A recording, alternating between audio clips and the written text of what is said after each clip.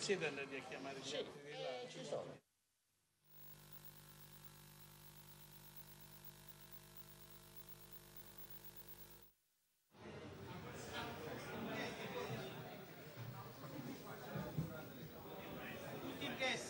Io ringrazio Maurizio Sarri che ci ha accompagnato per strada con ardore, sentimento e abnegazione fino alla fine. Ringrazio anche Cristiano che è il primo anno che lavora con noi e che sapevo già avere gli attributi ed è stato anche una grande rivelazione. Eh, il mister non lo sa, Cristiano lo sa, giovedì perché ci abbiamo lavorato anche insieme Abbiamo lavorato affinché, affinché poi ieri diventasse un fatto effettivo. Il primo acquisto del Napoli è stato formalizzato con Tonelli, ovviamente lo potremo formalizzare soltanto da lunedì quando si aprono le possibilità sia delle visite mediche che dei depositi in Lega. Però eh, è stato un atto e un gesto di fiducia perché anche se avessimo dovuto subire lo smacco impossibile, ma nel calcio voi sapete tutto è possibile, di arrivare terzi, noi avremmo comunque rinforzato la squadra.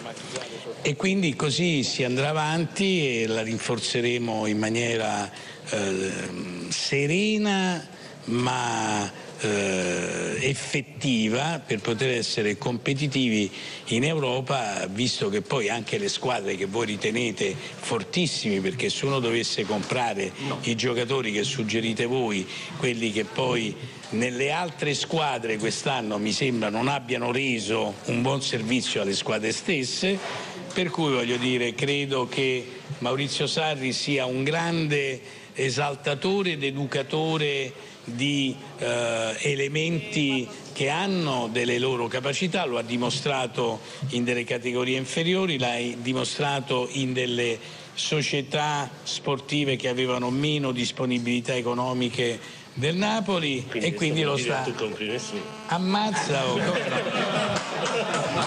questo vuol dire questo vuol dire che quest'anno sono cazzi tuoi perché li dovrai, perché li dovrai far giocare tutti e 19. Ecco. No, niente, io vi devo solo uh, ringraziare, devo ringraziare. Eccolo qua, usa questo.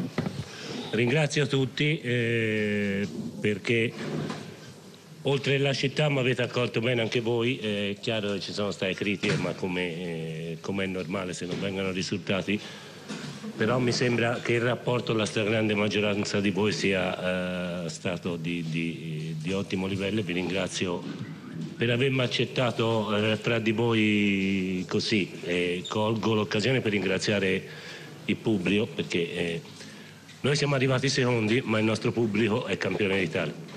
Grazie.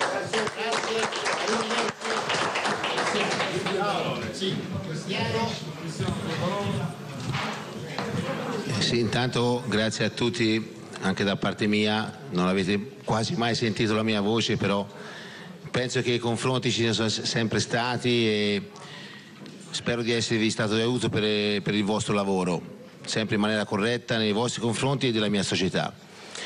Volevo ringraziare pubblicamente il Presidente che mi ha dato questa grande possibilità, questo grande allenatore, uno staff fantastico, i medici, i fisioterapisti, eh, coloro che sono dietro le quinte, eh, i magazzinieri, eh, quelli della sicurezza. Io penso che raggiungere certi obiettivi penso che eh, sia veramente merito di tutti. Grazie a tutti. Grazie.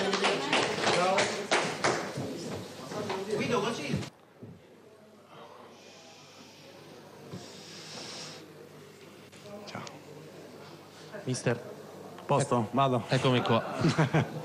Mister, buonasera. Buonasera. È, è chiaro che qua, che qui insomma, stanno, stanno, tutti lavorando per ben altro, però credo che sia giusto che insomma, il suo commento, il tuo commento parta da quell'espulsione di Gori, se hai parlato con il ragazzo che ti ha detto, perché poi quello un po' ha condizionato tutto, al di là del risultato. Sì, buonasera a tutti intanto. l'espulsione di Gori a saperla la verità perché uno dice una cosa, uno dice un'altra. Secondo l'arbitro ha detto qualche parola di troppo al, al direttore di gara e secondo Gori ha detto qualche parola di troppo a, a un giocatore del, del Napoli, quindi eh, certo è che fino a quel momento avevamo tenuto bene, bene il campo e anche che, che cercando di, impensierire il Napoli.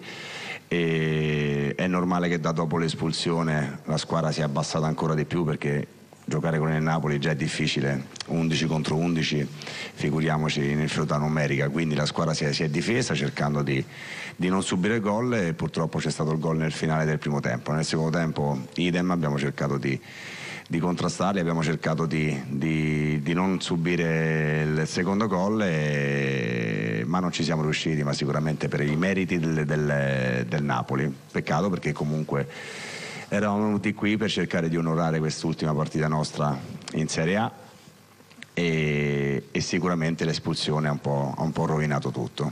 Comunque faccio veramente i complimenti ai miei ragazzi per la stagione, per l'impegno e faccio anche i complimenti al Napoli perché hanno fatto una stagione incredibile e logicamente allargo i complimenti a Diguain che ha, che ha fatto un qualcosa di, di straordinario.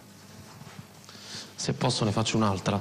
Eh, uscendo da, dallo stadio, uno stadio che per quattro stagioni come ieri è già ricordato in sala stampa è stato il tuo stadio da giocatore, eh, che cosa hai pensato? No, è sempre un'emozione particolare, io ero tornato qui a Napoli da, da, da ex giocatore quando ho giocato nel, nel Torino e tornarci da allenatore eh, ha un sapore, un sapore diverso e ho apprezzato molto il l'applauso che mi hanno fatto quando sono entrato prima della gara e ho contraccambiato, eh, ho passato quattro anni bellissimi qui a Napoli dove, come ho detto in settimana, mi hanno eh, fatto crescere come uomo e come, come, giocatore, quindi è una piazza importante, una cornice di pubblico incredibile che dà sempre una spinta alla squadra a rendere, a rendere al massimo, come, come tra l'altro è stato, è stato, fatto oggi da parte dei tifosi del Napoli. Quindi li ringrazio e faccio i complimenti anche a loro perché e anche i, i, striscioni che hanno messo nelle, nelle, nelle curve vuol dire che eh, sono, anche loro hanno, hanno, fatto una stagione fantastica. Mister, buonasera. buonasera. Domani ti riposi, giustamente, e ti chiedo da lunedì mattina cosa... Mi riposo lunedì. Ti riposi martedì.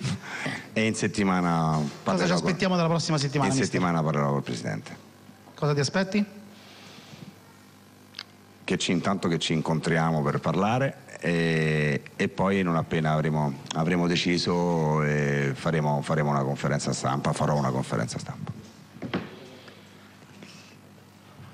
Ciao, buonasera Roberto. Sì. Intanto i complimenti li meriti anche tu perché il Frosinone è stato ben guidato quest'anno, se l'è giocato fino all'ultimo, quindi complimenti Grazie. a te e al Frosinone. All'andata, mi ricordo, a Frosinone ti chiesi qual era stata la squadra che ti aveva impressionato di più? Mi dicesti il Napoli e, sì. e, e, tu dicesti che era la prima, la mettevi al primo posto fra quelle che aveva affrontato. Che cos'è a tua sensazione che ha impedito al Napoli di giocarsela fino alla fine per lo scudetto? E poi un, un, giochino se ti capita mai di sognarti su quella panchina che è attualmente occupata da Maurizio Sarri. Allora, eh, il Napoli secondo me quest'anno ha espresso il calcio migliore e ha fatto un campionato incredibile, non so adesso quanti punti ha fatto in più rispetto all'anno scorso, penso 18-20 punti. E c'è la mano dell'allenatore perché pur man- avendo ma- mantenuto i stessi giocatori della- dell'anno scorso ha fatto um, qualcosa di, di, incredibile sotto tutti gli aspetti, difensivo, offensivo, proprio come qualità di, di squadra, di gioco e a fine campionato dico, dopo averle incontrate tutte per due volte, dico che il Napoli è sicuramente la squadra che ha espresso il miglior, il miglior calcio. Cosa gli è mancato? E niente, solamente che la Juventus ha, ha fatto eh, 26 partite con 24 vittorie, un pareggio e una sconfitta e quindi eh, ha sbagliato praticamente niente.